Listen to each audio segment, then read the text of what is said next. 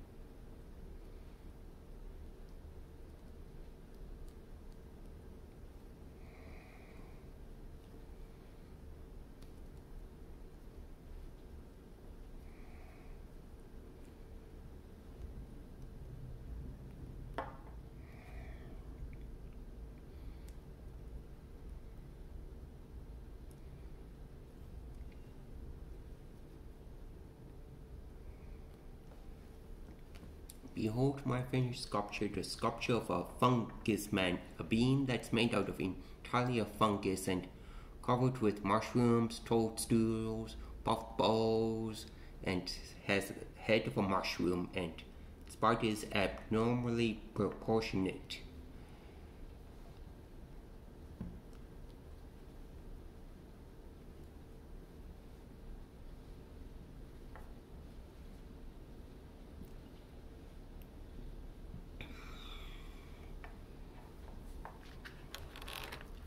Thank you for watching the video. See you next time for the next clay sculpture. Bye.